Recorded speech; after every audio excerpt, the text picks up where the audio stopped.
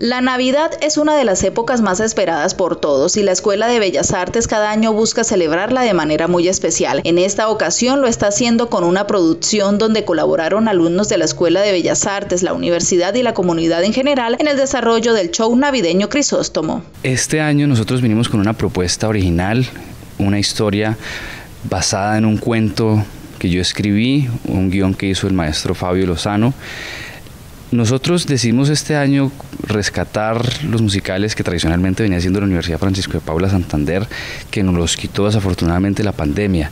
Este año tenemos una propuesta que integra teatro, integra danza, integra música, en música en vivo y tenemos artistas que son de aquí de la escuela, gente que viene de fuera de la escuela. Es una sinergia con de la escuela con el municipio de Ocaña, con las personas del municipio de Ocaña. El nombre de la obra es Crisóstomo, que es el apellido del protagonista. Este protagonista es un compositor musical que es famoso, tiene éxito y por el camino va sorteando vicisitudes y situaciones que lo llevan a reflexionar acerca de su comportamiento, acerca de sí mismo.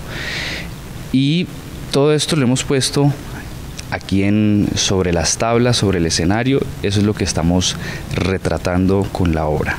El objetivo es que los amantes del arte disfruten de estos espacios que fueron preparados durante varios meses. Nuestro objetivo no es solamente venir a, a entretener y mostrar un trabajo artístico, sino que también queremos utilizar el arte como una herramienta para promover la paz y la reconciliación con un mensaje que cale en la sociedad y transforme nuestro tejido social en un municipio afectado por el conflicto.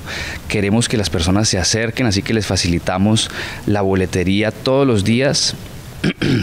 por cada día vamos, tenemos habilitada las boletas. La obra inició el pasado 19 de diciembre y finalizará este viernes 22, por lo que extendió la invitación a toda la población para que adquiera su boleta en las instalaciones de la Escuela de Bellas Artes y disfrute en familia de este maravilloso espectáculo.